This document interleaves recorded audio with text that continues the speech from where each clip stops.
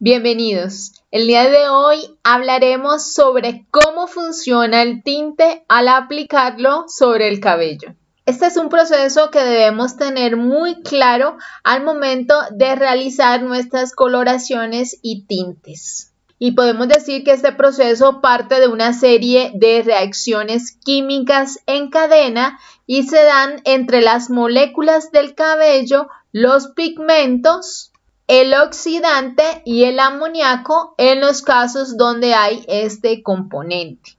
Para entenderlo debemos recordar que la cutícula es la capa externa del cabello y en el proceso de coloración es importante saber que se abren las escamas de la misma para que el tinte permanente llegue hasta el córtex del cabello. Al entrar, el tinte reacciona con la corteza y así se depositan los pigmentos de color. En cuanto al tinte permanente, debemos decir que actúan de la siguiente forma. Primero se da el proceso de aclarado y aquí es donde desaparece el color natural y se posa el color artificial.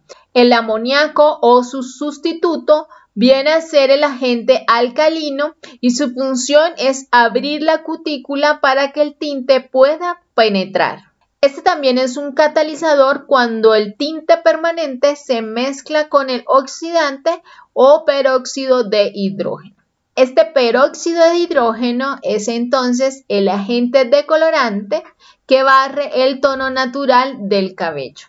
Finalmente podemos decir que hoy en día estos productos también poseen agentes acondicionadores cosméticos que sellan y protegen la cutícula después de que sean depositados los pigmentos artificiales.